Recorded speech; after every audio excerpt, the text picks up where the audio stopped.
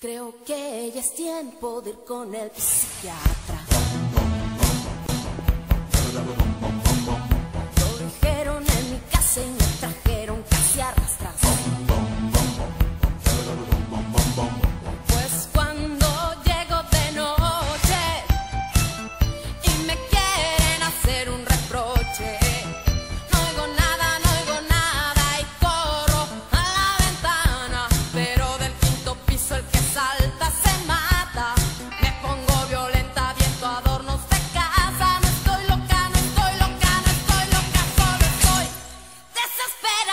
Tanto ti piaccia.